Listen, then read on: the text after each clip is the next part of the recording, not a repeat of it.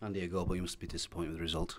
Yeah, we are. I mean, obviously we wanted to start with a win at home, but I think we just have to hold our hands up. I think they were better than us today, and we got a week now to prepare for the next game. It was a quality first goal from them, but the other two, kind of sort of, how do you learn from those? Yeah, I think we need to maybe not be as naive and we're goal down and trying to go for it. I think at one 0 you're still in the game. So we need to be a bit tighter probably when we've when we've got possession. I get hit on the on the counter attack and, and just stay in the game. And then obviously when you're three 0 down, it's well you're not really going to come back from that. But we gave it our all. We, we tried to to get keep going to the end and just go wait for the next game.